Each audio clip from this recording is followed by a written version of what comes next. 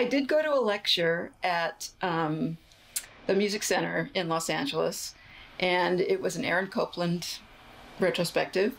And so the panel beforehand was uh, a dancer because he did uh, choreography. Um, he wrote for ballet uh, movie. There was a Jerry Goldsmith was there, and uh, then concert music and that. And they were all talking. And Jerry Goldsmith said, you know, you work so hard on your score. You know, you just have everything perfect, perfect. And then they cover it all over with sound effects. and I thought, that's what we say the other way around. You know, we work so hard, and then they cover it all over with music.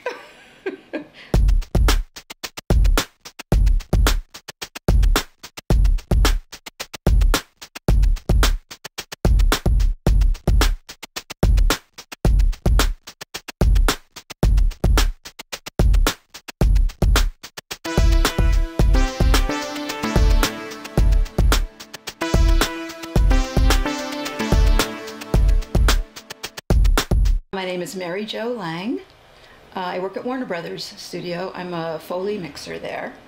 And I've worked on over a hundred films and television shows. so uh, recently, Inside Out uh, is, is part of my presentation here. And um, Ben Hur, just finished working on the new Ben Hur. Um, in the past, I worked on Schindler's List. I worked on the Matrix series, one, two, and three um, The Dark Knight and Dark Knight Rises, um, Frozen, Tangled, uh, a lot of Disney animated things.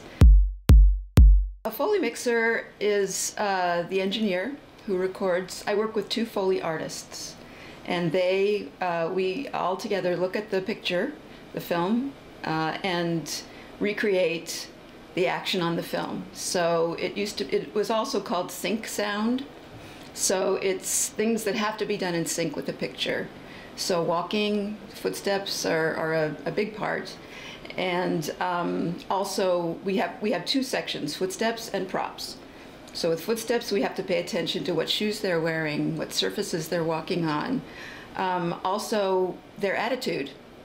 Are they happy? Are they upset? Are they anxious? Um, all of that comes into play in the in the footsteps and in the props too. So anytime anybody picks up a glass or a newspaper or a book or punches somebody or kisses somebody or eats something, we do all of that. A Foley recordist, well, in Britain, I think they call the mixers recordists, I believe.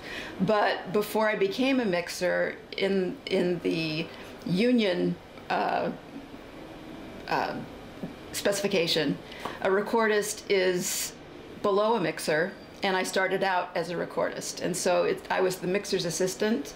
I would load the machinery, I would do all the paperwork, I would um, just assist them in what to do next, what to do next.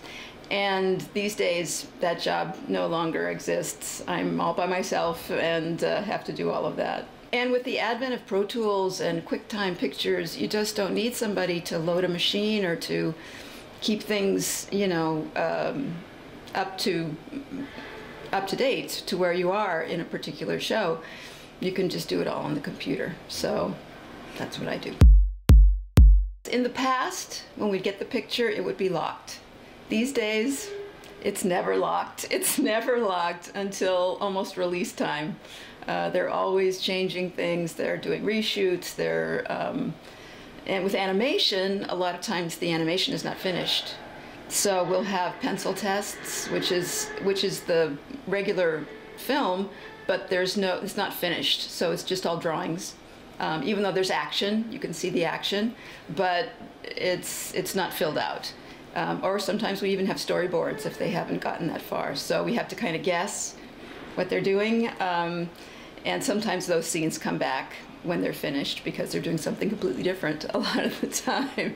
But um, yeah, there is no such thing as a locked picture anymore. We have an initial budget of how many days we have to do um, a project, and if there are additional scenes or they've changed the ending or um, there's new CGI in that they need us to um, elaborate on, they, they book more days for that. Budgets have shrunk so much, and so the days that we're allotted to do a film have shrunk a lot. but the supervisors are very good. The ones we work with are very good at um, dividing the work, and so they know we only have maybe five days to do a feature, so they will cue that accordingly. So um, the what happens when we get hired, there's sometimes there's a Foley supervisor, not always, but sometimes there is, and he or she will go through the film with the super with the head supervisor, and um, spot what is is needed and um, any special requirements, uh, and then they will what we call cue it. They'll go in a Pro Tool session and they'll mark all the all the clips that we need to do.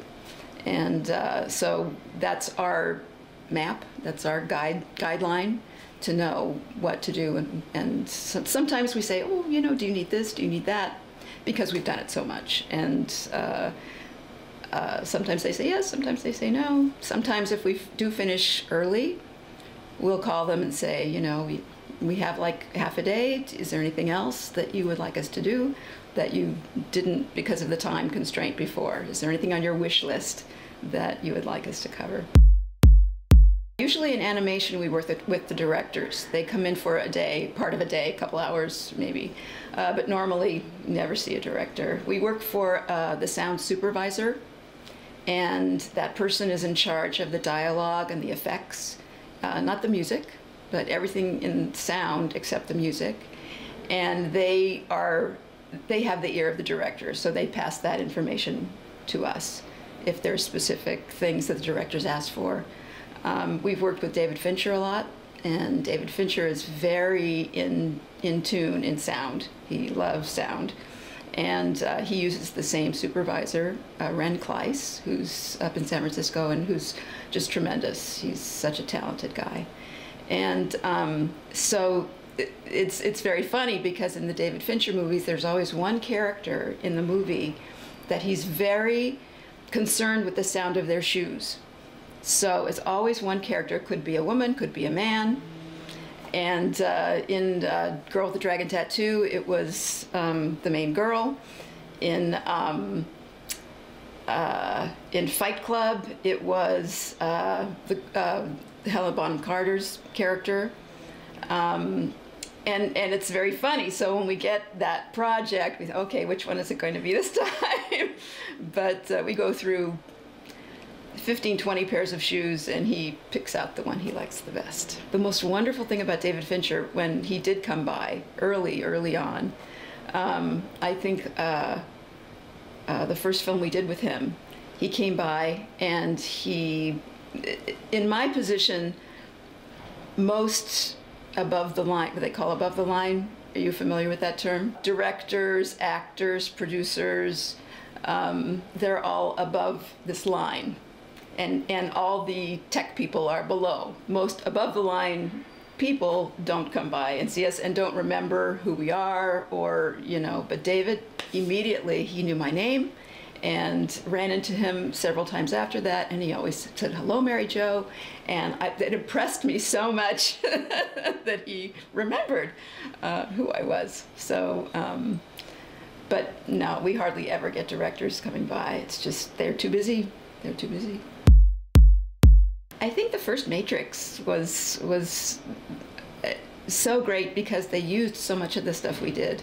And it was so gratifying because uh, a lot of times we'll work on a show and we work and you never hear anything or very little of what of our contribution. And uh, whether it's because of the music it's usually because of the music and um, or the effects or whatever um, and the matrix was just uh, so so gratifying to watch because they used everything we did and uh, it had it gave us a chance to be creative because there were so many interesting scenes in there that we had to make up stuff for. Um, and uh, in fact, one of the things we did was uh, uh, Keanu Reeves really liked. we were told, and it's uh, it's when he's in the egg. He wakes up in the in the machine, and um, he gets undone. The, the machinery comes in and takes everything off of him, and then he's flushed down this tube. And as he's going by camera in the tube, uh, he his hand swipes along the tube, and we did a squeak for that, you know, as he's going by, and he loved that. so that was gratifying too, you know. It was just so nice to be recognized for for what we do. The toughest job, boy. I uh, they all have elements of of difficulty. Um, one is is a matter of taste. You know, some some editors like a certain sound, and so you have to adapt yourself to what. It's not my taste always. It's you have to change with whatever they want because they're hiring me, so I have to provide what they want. Um, um, Amistad was difficult, uh, even though it seemed so straightforward. But it, the whole ship and the creaking of the ship and the um, all of that was was a challenge. Uh, they were very particular about what they wanted, and uh, and like I said, the David Fincher thing with the shoes um, is always fun. But um, no, I don't think any of them. We did the first Independence Day. I guess they're they've remade it now. Um, but one one reel where the New York City gets destroyed took us a week to do one scene uh, throughout that that destruction. So we worked five days on one scene. So that was probably the the most challenging, I guess. The theater experience is not doesn't influence us at all because we we rec- I record mono. Everything's out of the center uh, normally. Sometimes they put things in the surround like group things, uh, group footsteps, or or uh, in, a, in, a, factory. Sometimes we have to do a background ambience for a factory. And, and in fact, we just did a a, a television show that um, that they were in a pickle factory and it was an organic pickle factory, so there was no machinery. Everything was being done by hand. So we had to provide the background for that. And uh, so very rarely, most everything comes out of the center. And, and Foley is such a detail-oriented field that um, we use shotgun mics to, so we don't get any outside sound. We just get what's right in front of the microphone.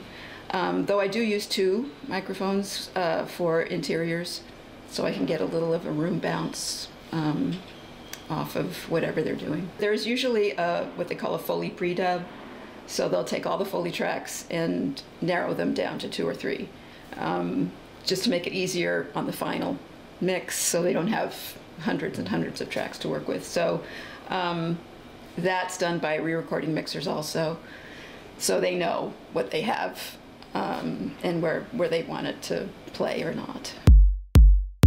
I think I have the only job, we all have the only job that's 8 to 5, Monday through Friday, in the movie business. I, we never, hardly ever work overtime, hardly ever do weekends. Uh, it's a eight hour day and we're in, we're out, and uh, then a night crew comes in and they do the same thing. They work an eight hour shift. And uh, in fact, my first job mixing was midnight to 8 a.m. on Hook. We were running three crews uh, on Hook. I, I do go to movies that I've done. If I like if I like the movie, I'll go see it. If I don't, I probably am not going to go see it. Um, but uh, yeah, it's it it's because you're always curious. Like I said, you're always curious. Did they use that? You know, they were so picky about that one thing. Uh, did it end up in the movie at all? You know, and sometimes it does, and sometimes it doesn't. Um, we did uh, White Hunter Black Heart uh, many years ago, and um, there was uh, a session about this woman's earrings. And we did several different varieties of her earrings. And you go to the movie and you don't really hear anything. so I guess we were not successful in, uh, in providing that sound.